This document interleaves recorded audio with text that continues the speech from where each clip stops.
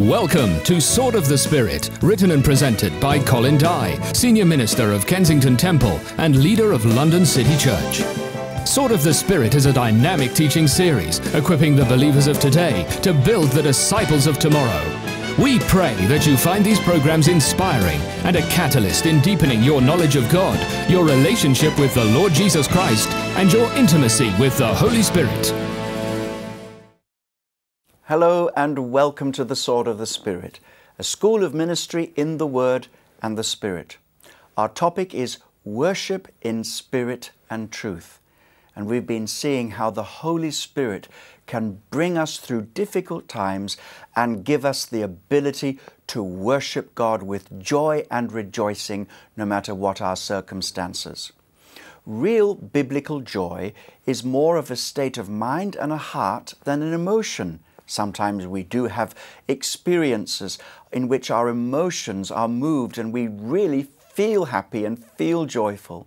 But really, biblical joy is far deeper than that. Our emotions can come and they can go. And the most important thing is to keep our heart fixed on who God is, because when we acknowledge who God is, then we, are, we have a joyful attitude. And with this joyful attitude, we can worship God with joy in all circumstances.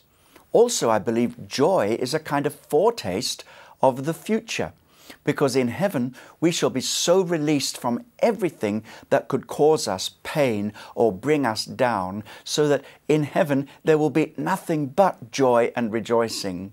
And the Holy Spirit, who is the heavenly gift into our lives can bring us into an experience in which we foretaste heaven and taste heaven beforehand. And that's why we can rejoice in all circumstances. And the early believers who were persecuted and, and the martyrs of the faith were so joyful and, and rejoicing so much because they knew they were going to be in the presence of the Lord. And I think a very good definition of worship is enjoying the presence of the Lord. Now, at the outset of today's program, I'm going to do a brief introduction concerning the words for joy and rejoicing in the Old Testament and the New Testament. And we will see how these words bring us into a full revelation and an understanding of what it means to rejoice in the Lord. And I believe that as we study this topic today, God will lay a fresh foundation in our lives, a foundation upon which we can stand like standing upon the solid rock, knowing that God has given us a new song, a song of joy and a song of rejoicing because after all, that's our testimony. As the Bible says, He has taken us out of the miry clay and He's put our feet upon the rock, and we know that that rock is Christ Jesus, and He's also put a new song in our hearts. It's a song of joy, it's a song of praise, and a song of rejoicing. Whatever circumstances you're going through today, listen carefully and watch attentively because I know God is going to give you a new spirit of joy and rejoicing. The Old Testament words in Hebrew for joy and to rejoice are simah, sim, simha, and sameha, sameach. These are the usual words for joy and rejoice. They are expressed in the celebration of the various festivals and sacrifices. And this is something that God developed down through the ages. He said, when you come together, I, I, want you to celebrate. In recent church history, there have been the renewed emphasis, emphases on celebrations in different contexts. And one of the things that the charismatic churches have uh, contributed to the worship life of the body of Christ in recent history is to call people together for celebration. Thank God for the celebrations. Let's celebrate together. Who is celebrating? We're celebrating Jesus. The joy of the Lord is our strength. Now, of course, when that turns inward and we be- it becomes only celebrations, only partying, and we forget the misery of the world outside of our party in our little private holy clubs. And then when we realize that God wants us to weep for the lost and to cry great tears for those who are hellbound, and, to, and not just to come together for Christian parties of celebration, but also to go into mission and evangelism, we don't forget that it was in a time of celebration that the church was born. 3,000 people came to Christ on the day of Pentecost when they were simply filled with the Holy Spirit and had so much joy that they couldn't contain it. That, to me, is what the witnessing experience is all about. Is to have so much joy that it overflows in your life despite your circumstances, whatever they are, that you may, then it bubbles out to other people. And there you are, so full of joy, and that joy becomes contagious, and they're standing next to you, and they go, What is it? There's something strange here. And you say, That, my friend, is the joy of the Lord. Or you may not put it like that if you're actually witnessing to somebody. You may just then lead them gently into the realization that uh, you have something that God has given to you, but it's available to everybody. It's called happiness, it's called joy, it's called knowing Jesus. Now, Simha was not only expressed at pre planned events such as festivals, but the book of Psalms shows that spontaneous joy was part of both corporate and individual worship. When was the last time you, in the presence of God, just lifted your hands and rejoiced before Him spontaneously because you're so thrilled with who He is? Psalm 4, verse 7 says, You have put gladness in my heart more than in the, in the season that their grain and their wine increased. Psalm 42, verse 4 says, when I remember these things, I pour out my soul within me, for I used to go with the multitude. I went with them to the house of God with the voice of joy and praise, with a multitude that kept pilgrim feast. Joy is a particular theme of the prophet Isaiah, because the prophet Isaiah is the John's gospel of the Old Testament. He proclaims salvation more clearly and more fully than any of the other prophets, to my mind. And he therefore says this salvation will be characterized by joy. Isaiah 49, verse 13 Sing, O heavens, be joyful, O earth, and break out into singing, O mountains, for the Lord has comforted his people and will have mercy on his afflicted. Isaiah 61, verses 10 and 11 I will greatly rejoice in the Lord. My soul shall be joyful in my God, for he has clothed me with the garments of salvation. He has covered me with the robes of righteousness, as a bridegroom decks himself with ornaments, and as a bride adorns herself with jewels. For as the earth brings forth its bud, as the garden causes things that are sown in it to spring forth, so the Lord will cause righteousness and praise to spring forth before all nations. So Isaiah had a vision of this joy. It's not surprising then that the New Testament will be characterized by joy. Chara and chairo are the most usual Greek words for joy and to rejoice. They refer to intense joy. And closely related, this word is closely related to charis, which is the Greek word for grace. So the relationship between chara and charis must suggest that chara, joy, is the only appropriate response to charis, divine grace. So these two words are related together. Chara means joy, means joy. Charis means grace. So we are full of joy because the grace of God has touched our lives. Hallelujah. I'm getting excited here today. And in John chapter 15 and John chapter 16, Jesus establishes that the joy comes from Him, and the result of this joy, the joy rather, is the result of fellowship with Him through His grace. Let me just read one of those verses for you. John chapter 15, verse 11. These things I've spoken to you, that my joy may remain in you, and that your joy may be full. The book of Acts shows that intense joy characterized the life of the early church. For example, we see that joy accompanied the gift of the Holy Spirit in Acts chapter 2. We find that the miracles performed in the name of Jesus Christ brought joy. Acts chapter 8 and verse 8. There was great joy in the city when the kingdom of God came, and paralyzed were healed, and demon, demons were expelled. The conversion of the Gentiles in uh, uh, the book of Acts was, was a, an occasion for great joy and celebration as they saw that uh, God was extending His grace into the Gentile world. When they were persecuted, they were filled with joy because they said, What a wonderful privilege is ours to be counted worthy of suffering, suffering for the sake of the name. And they also had great joy and celebrated together in the Lord's Supper. And they ate their bread with gladness and singleness of heart. And part of that must have been the breaking of bread together and sharing together in simple fellowship. In the letters of Paul, we find four basic facts about biblical joy, chara. First of all, the conversion and Christian progress of new believers was a cause of joy. When we see people coming to Christ and seeing them growing in Christ, it's one of the most wonderful things we can see. We get so happy. Suffering for the sake of Christ can lead to joy because it's the joy, it's the joy of the Lord. It's not produced by us, this joy, it comes from God. In Galatians chapter 5, Paul says joy is an aspect of the fruit of the Holy Spirit love, joy, peace.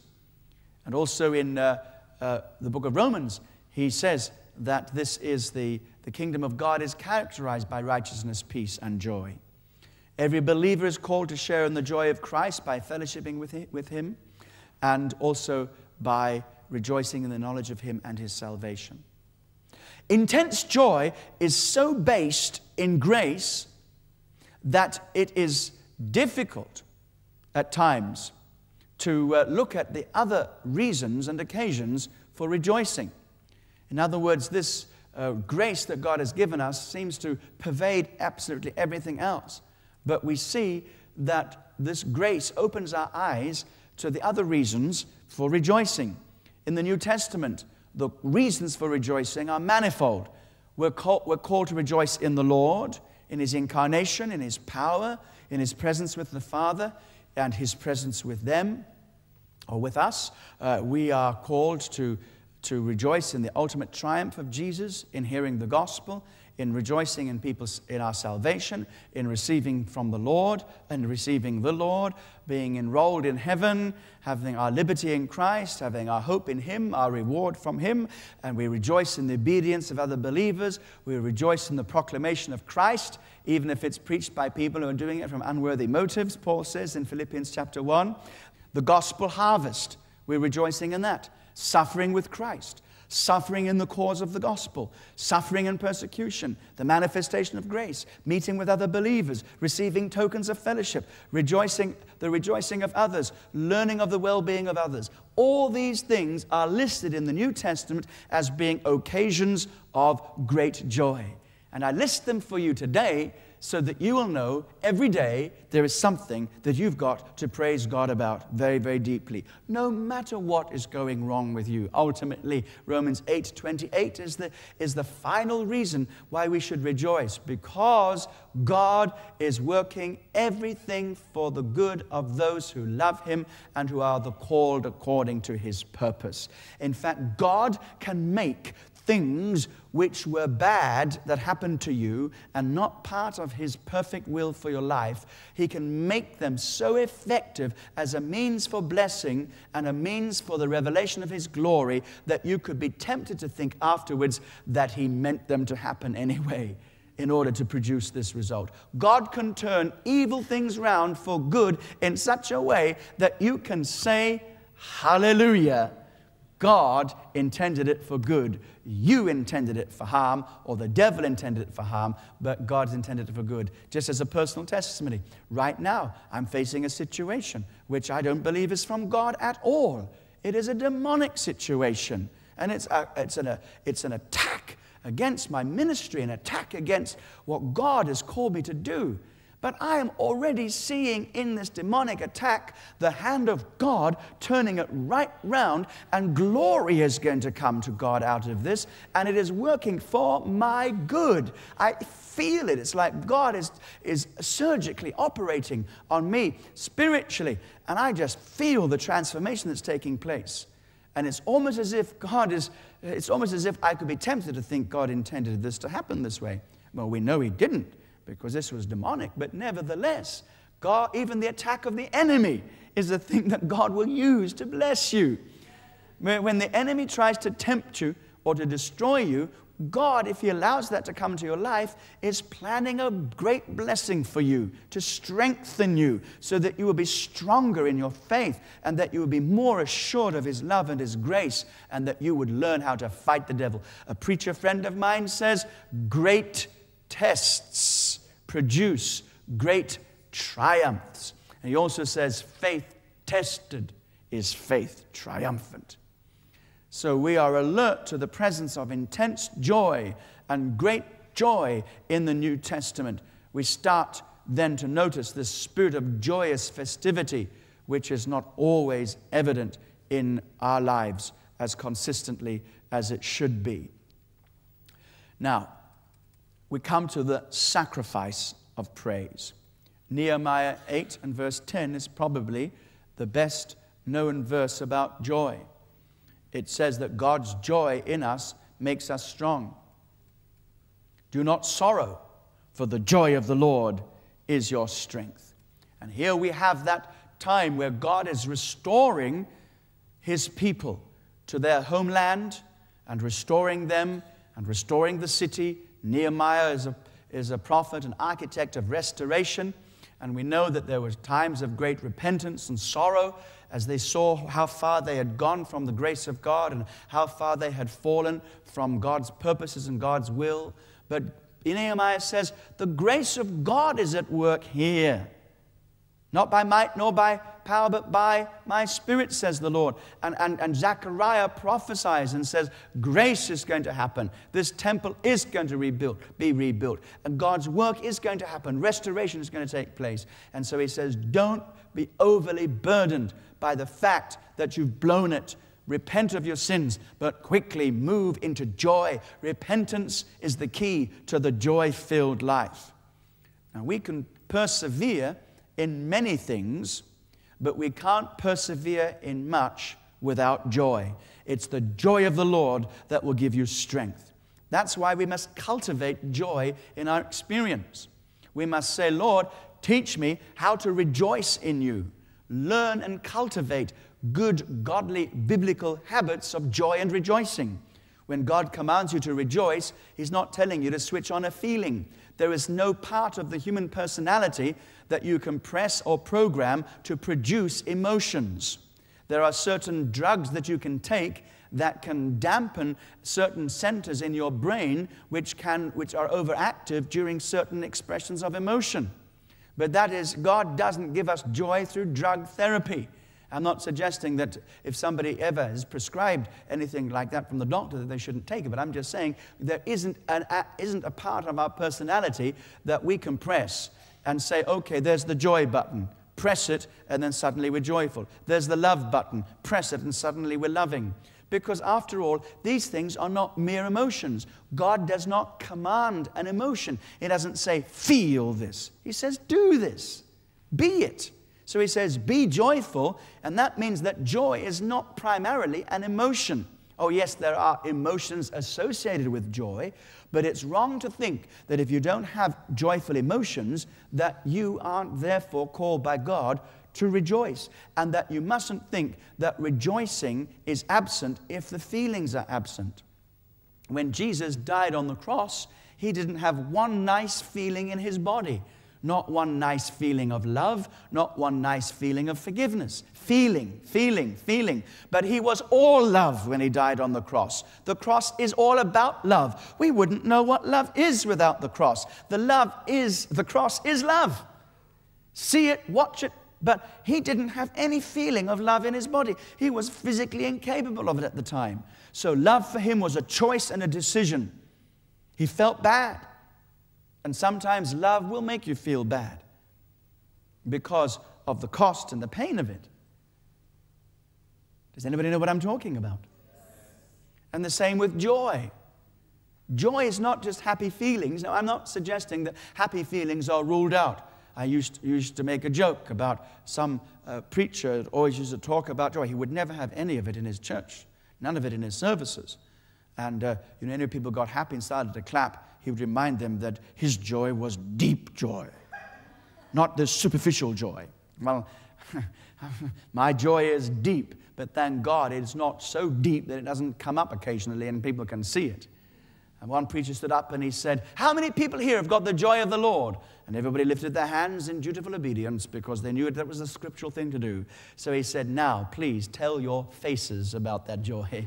In other words, smile, smile. And uh, when Jesus rejoiced, I'm convinced that he rejoiced with a smile on his face.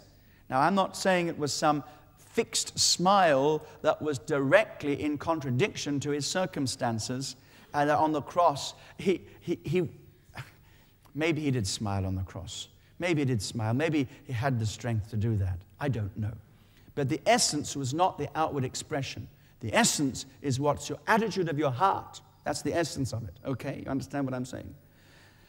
And I'm also saying that that essence must be expressed. If it's real, it's got to be seen. With joy, you will draw water from the well of salvation, Isaiah says in chapter 12. Now, in this Sword of the Spirit series, I've often referred to something that I call gospel obedience and const- with the obedience that often religious people call for and the obedience that at times was evident in the Old Testament. Gospel obedience is the opposite of, of that external legalistic obedience. And without the spirit of joy, gospel obedience doesn't exist. Because when we obey God, we do it with that spirit of joy. We obey Him with, with, with passion. We obey Him with excitement. It's wonderful. The psalmist says, I delight to do your will, O my God. I delight, your will is a delight. And when Jesus came into the world, it was, this psalm was appropriate of him when it's written in the volume of the book, when, uh, uh, when I came into the world, it's with this declaration I've come to delight to do your will. And so, joyless obedience is a little bit like the legalistic, joyless obedience of the Jewish Pharisees and other religious folk. Our words and actions, therefore, should be characterized by intense joy and great thanksgiving, and our actions should speak of a response to God's gracious initiative. And so, all our words and deeds, if they come from Him, they must be consistent with Him, and therefore they come already wrapped in His personal joy. What, therefore, is the way to joy? It results from obedience, my friends. If you live in obedience, you're going to be blessed. Jesus said in Luke 11, Blessed are those who hear my will and know it and obey it and do it. That's why the New Testament calls for the costly sacrifice of praise. We do not obtain joy easily just by singing certain songs, we obtain it through sacrifice. It was purchased through blood sacrifice, the sacrifice of Jesus' blood, and it's received also through the sacrifice of gospel obedience. We find this in the teaching of Jesus in the Sermon on the Mount and what we call the Beatitudes.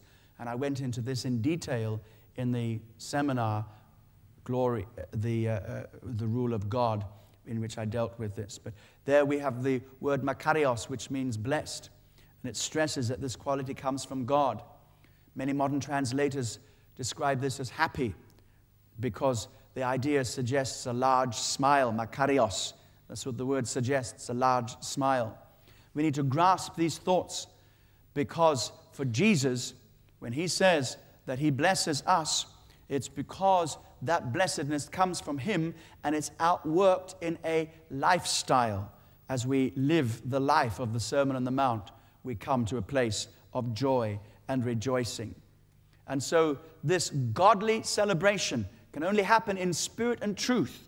It can only spring from our lives, which have been transformed by God's truth and renewed by God's Holy Spirit. And as we live according to that truth and the power of the Holy Spirit, only then can that joy come. So the Apostle Paul calls us to continuous rejoicing in Philippians chapter 4. He says, Rejoice in the Lord always. Do so with thanksgiving. And that's because we know how to live without care, without pagan, craven anxiety. Don't be anxious about anything, but pray about everything. This follows on from what Jesus said that we can trust God completely for the provision of all our needs And so we know that as we let the joy of the Lord grip our hearts, it's because we've trusted in God completely to provide for us everything that we need. And so we set our hearts and our minds on all that is good and true and holy and virtuous. And we trust Him to be the God who will give us all that we need. And my God shall supply your need. That's what He says by Christ Jesus as we walk in His truth and obey Him and become joyful, giving, sacrificial Christians. And so the expression of this rejoicing comes as we know that our sacrifice of our lives is acceptable to God. And so it's not just in the outward uh, expressions, but this inward joy will be outwardly expressed. And so we know it's not just about following rituals, but it's about being in a joyful relationship with Jesus Christ. And so God would have us, I'm sure, reclaim so much of our life which could be swamped by joyless living, reclaim it into a wonderful time of celebration. In the study guide, I, I suggest ways in which we can reclaim even some of the so called Christian festivals of Easter and Christmas and, and, and re, re, reclaim them from the hands of the pagan uh, expressions of so much of this to see that we can have pure, fresh, and true uh, joy. We can turn many of our family experiences and family occasions into a time of real joy and celebration. Always look for an excuse to have a Holy Ghost party. Uh, and we can see that even on the Sabbath day, when uh, they were called to, to cease from work, it was a time of joy. That God calls us also to rest in Him and to have that wonderful joy and peace as we live a life of gospel obedience. So, rejoicing in the Lord gives us the strength to serve others. It provides us with the inspiration to worship Him in the ordinary detail of our lives, and it equips us with the joy to give generously to the needy and to God's work. And when we start to fill our lives with godly service, sacrifice number one, godly giving, sacrifice number two, and godly rejoicing, sacrifice number three, we will be people who are beginning to be worshippers whom the Father is seeking, we will be worshiping him in spirit and truth. Well, we leave now these three sacrifices and we come back next time to deal with the final part of how we must learn to worship by the Holy Spirit. And when we come back, we'll be dealing with that. But right now, God bless you until you join us in the next session.